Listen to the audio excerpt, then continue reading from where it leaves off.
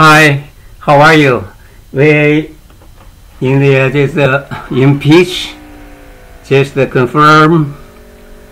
So here is a cartoon.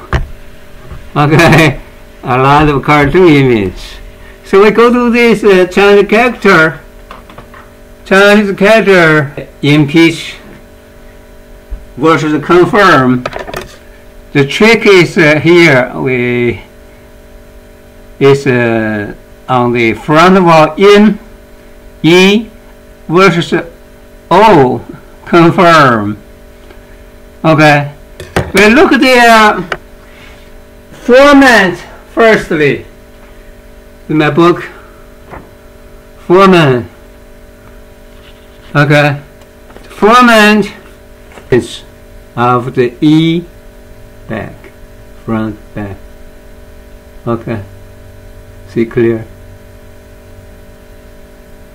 Okay, that is the Chinese character reflected the uh, front vowel and the back vowel.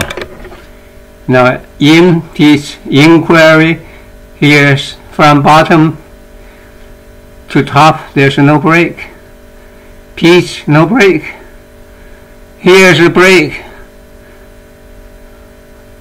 O, R, O, apricot.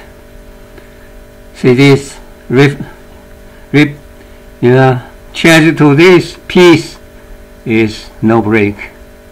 Okay, this is uh, just generally speaking. The Chinese character reflects the formant very well.